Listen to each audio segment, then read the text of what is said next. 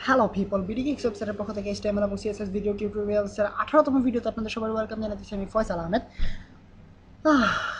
এতগুলো কথা একসাথে বলতে বলতে গলা শুকায় গেছে অলরেডি এনিওয়াইজ এই মাত্র ইফতার করে আসলাম এবং ইফতারের মেনু এত বড় ছিল যে সব পুরো মেনু বলতে গেলে আপনাদেরকে একটা আলাদা ভিডিও টিউটোরিয়াল দিতে হবে। সো আমি ইফতার মেনুর উপরে কোনো টিউটোরিয়াল করতে চাইতেছি না বাট এটা জেনে রাখেন যে ভিডিও টিউটোরিয়াল মাঝখানে যদি বড় সাইজ বড় সাইজের কোনো একটা ঢেকুর দিয়ে অথবা বার্প করি, আপনারা অবাক হবে না, এটা বুঝে নেবেন যে ইফতারের ফলাফল।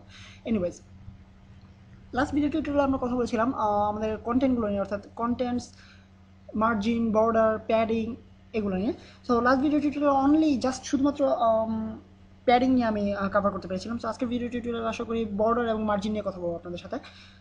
সো বর্ডার জিনিসটা বেসিক্যালি আপনাদেরকে আগে এক্সপ্লেন করা হয়েছে যে এই সাদা অংশটা এবং এই I mean colour orange colour বক্সটার মাঝখানে যে ছোট্ট অংশটা, আপনারা দেখতে পাচ্ছেন যে সাদা আমি মার্ক করার পরে দেখতে পাচ্ছেন যে একটু ছোট্ট একটা অংশ কমলা রয়ে গেছে অলরেডি সাদা এবং এই এই মার্ক অর্থাৎ হাইলাইটেড অংশটার মাঝখানে। এটা হচ্ছে আমাদের বর্ডার সো এই জিনিসটাকে আমরা বিভিন্নভাবে স্টাইল করতে পারি সিএসএস এর মাধ্যমে। আমাদেরকে বেসিক্যালি তিনটা প্রপার্টি ইউজ করতে দিচ্ছে- সিএসএস সেগুলো হচ্ছে বর্ডার স্টাইল বর্ডার সাইজ এবং বর্ডার কালার আপনি হচ্ছে নাম শুনে বুঝতে পারতেছেন কোনটার কাজ কি। বর্ডার সাইজ হচ্ছে গিয়ে আমরা ডিটারমিন করে দেবে কতটুকু আই মিন আমরা কতটুকু উইথের বর্ডার দিতে চাচ্ছি অথবা কতটুকু পুরো বর্ডার দিতে চাচ্ছি। এবং বর্ডার স্টাইলটা বলে দিব, আমরা কি স্টাইলের বর্ডার দিতে চাচ্ছি সিএসএস বিভিন্ন ধরনের বর্ডার স্টাইল আছে। Dots dash dotted dashed inline outline solid এগুলো। অ্যান্ড একটা হচ্ছে গ্রুভ স্পেশাল যাই হোক, আপনারা এগুলো ঠিক আপনাদেরকে যেভাবে বলেছি, এগুলো আসলে আমি নিজেও মুখস্থ রাখি না এবং আপনাদের আমি আপনাদেরকে বলতেছিও না যে আপনাদেরকে এগুলো মুখস্থ রাখতে হবে। জাস্ট আপনারা যে কোনো ওয়েবসাইটে গেলে আপনারা রেফারেন্সে দেখতে পারবেন সিএসএস রেফারেন্সেসে যে বর্ডার কী কী প্রপার্টিজ আমরা ইউজ করতে পারি। সো এইগুলো আমাদের বর্ডার স্টাইল এবং সবশেষে বর্ডার কালার আপনারা এসে বুঝতেই পারতেছেন যে আমরা কোন কালারের বর্ডার দিতে চাইছি চাইতেছি, সেটা আমরা ডিটারমাইন করব বর্ডার কালার এই প্রপার্টি দ্বারা।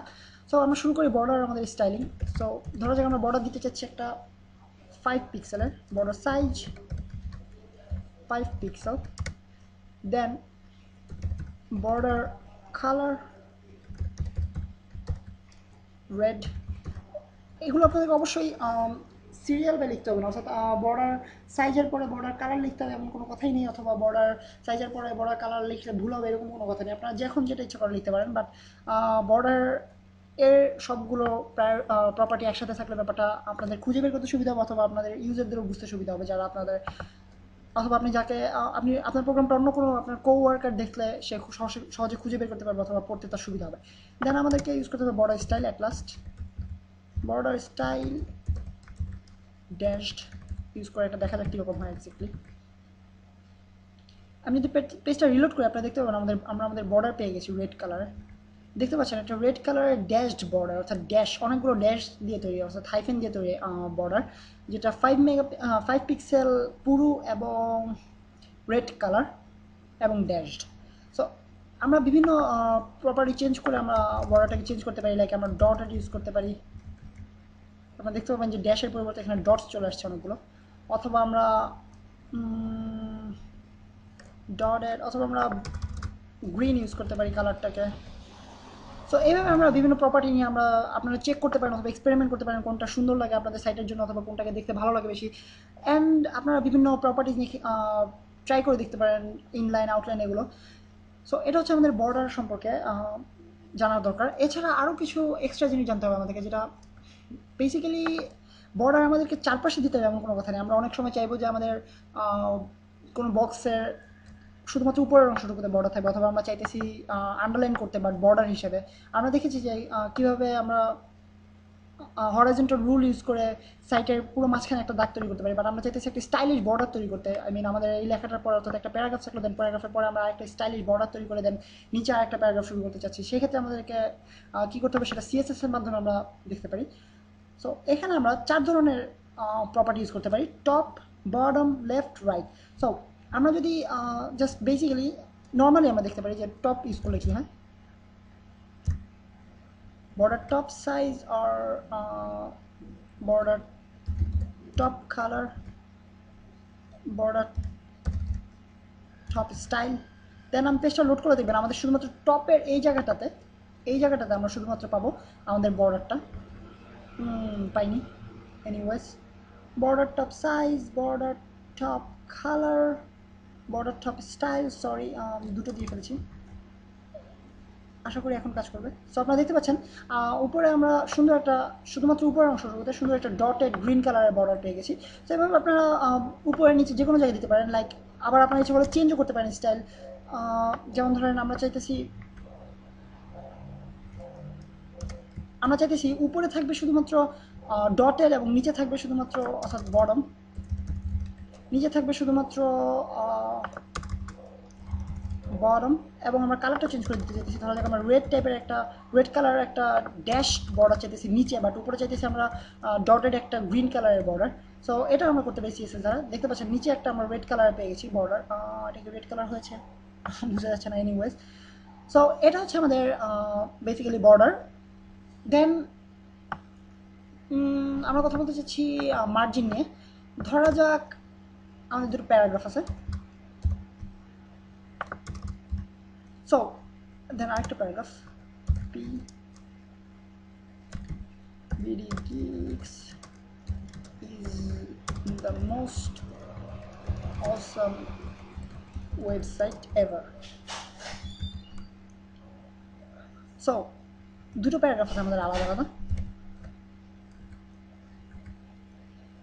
দেন মার্জিন ব্যাপারটা আপনাদেরকে আগে এক্সপ্লেন করা হয়েছিল। আপনারা দেখলে বুঝতে পারবেন যে আমরা এখানে এই টেক্সটটা অর্থাৎ আমরা দুটো ব্যাকগ্রাউন্ড ক্রিয়েট করি আগে। অবশ্যই পি আমরা সিসি স্টাইলিং অ্যাপ্লাই করব এখানে। ব্যাকগ্রাউন্ড কালার সরি হাইফেন দিতে বলে গেছি কালার অরেঞ্জ অ্যাজ ইউজুয়াল ঠিক আগেরটার মতো। সো কাজ করেনি। ব্যাকগ্রাউন্ড বানানো ভুল করেছি।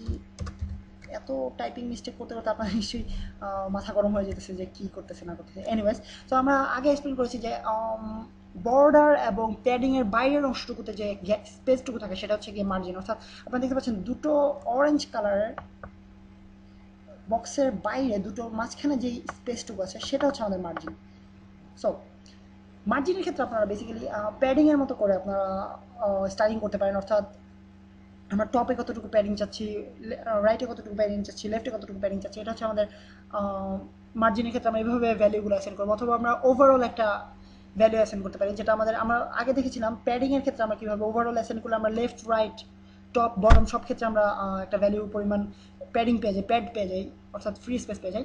সো বেসিক্যালি মার্জিনটা একই জিনিস, অর্থাৎ সেম প্যাডিংয়ের মধ্যে একটা জিনিস বাট প্যাডিংটা হচ্ছে কি শুধুমাত্র বক্সের ভিতরে, অর্থাৎ ইনসাইড দ্য বর্ডার বর্ডারের ভিতরে। আর আমাদের মার্জিন হচ্ছে শুধুমাত্র বক্সের বাইরে, অর্থাৎ বর্ডারের বাইরের অংশটুকুতে। সো আপনাদেরকে দেখানো যাক কীভাবে আমরা মার্জিন ইউজ করে আমরা স্পেসগুলো তৈরি করতে পারি, অথবা গ্যাপ নিতে পারি।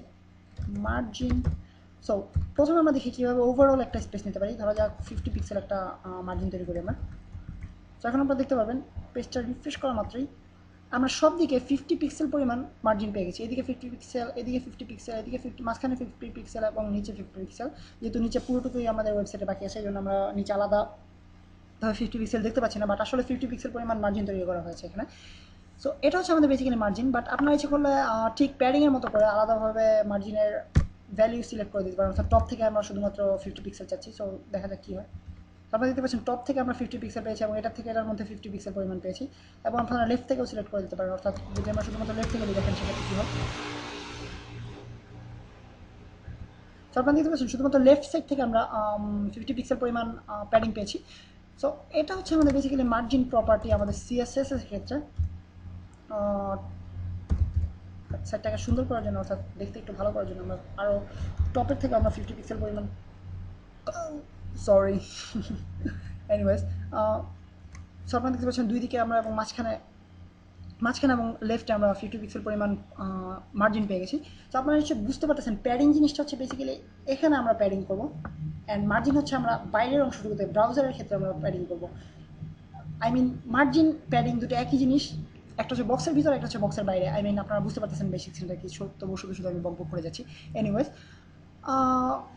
সো আমাদের বক্স স্টাইলিংয়ের ক্ষেত্রে এই কয়েকটা জিনিস জানার প্রয়োজন পড়বে আপাতত, এবং নেক্সট টিউটোরিয়ালগুলোতে আরও কুল এবং চরম সব জিনিস নিয়ে আপনাদের সামনে আসতেছি আসার ইচ্ছা রাখতেছি। আমি আপাতত সাইন করতেছি BD geeks from Faisal Ahmed আপনারা কেউ খেয়াল করছেন কিনা জানি না, আমি বলছি BD geeks from Faisal Ahmed actually Faisal Ahmed from BD geeks anyways bye